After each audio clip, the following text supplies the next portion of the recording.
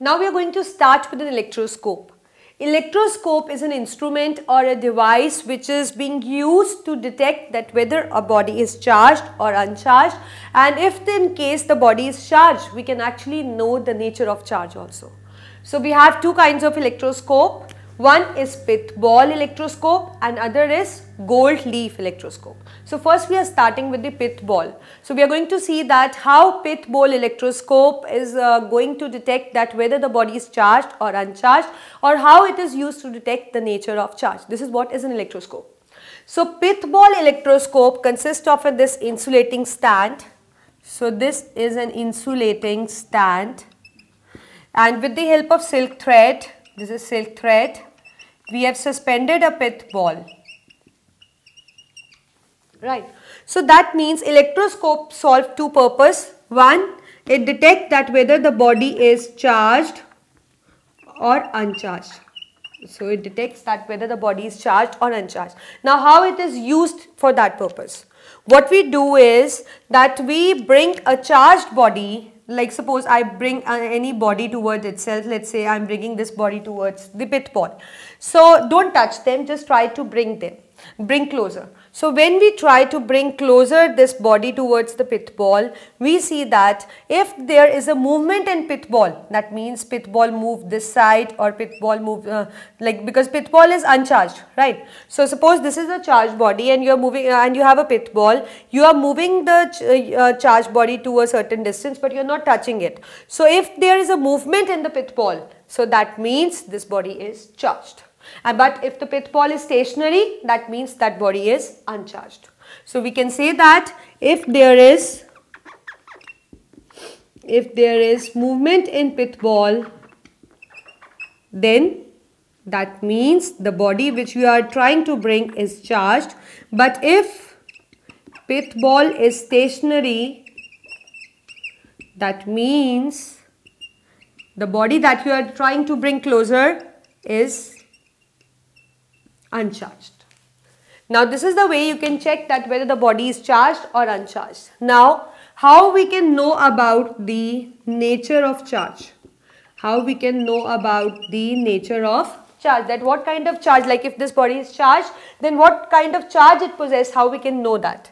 So what we have to do in this case suppose what we have to do is first you have to charge this pith ball by the process conduction.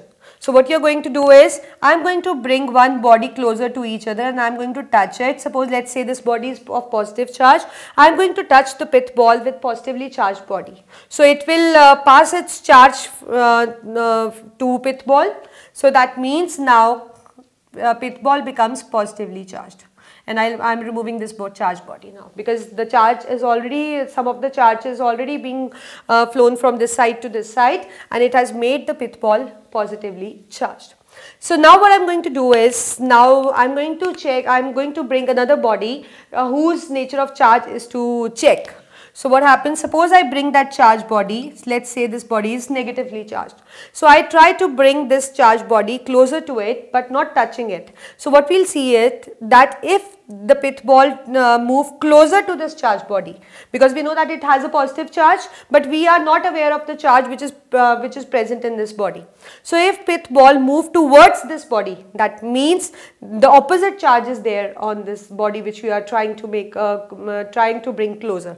So that means it will acquire it it must be having a negative charge because it is positively charged. So if it is moving toward it so that means it is attracting that body and if it is attracting obviously it will possess a opposite charge only. So if it is moving closer, so that means it has an opposite charge because it is positive, so it must be negative. But if it is moving far far from it from it, uh, so that means it is repelling because it must be having a same charge. So that means we can know the nature, but for that what you need to do is you have to make pith ball first charged with certain charge you can make it positive charge also. You can make the pith ball negative charge but you have to do by the process conduction. That means you need to touch the charged body with the pith ball then bring the uh, bring the body uh, whose charge is to be detected to uh, near the pith ball if pith ball move closer to that body that means it is having a different charge. It is having the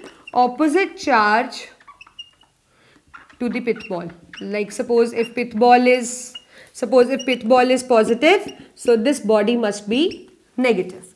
But if pith ball move away from that body, that means they are possessing the same charge. So like if pith ball is positive and it is trying to move away, so that means this body is also positive. That is why they are repelling.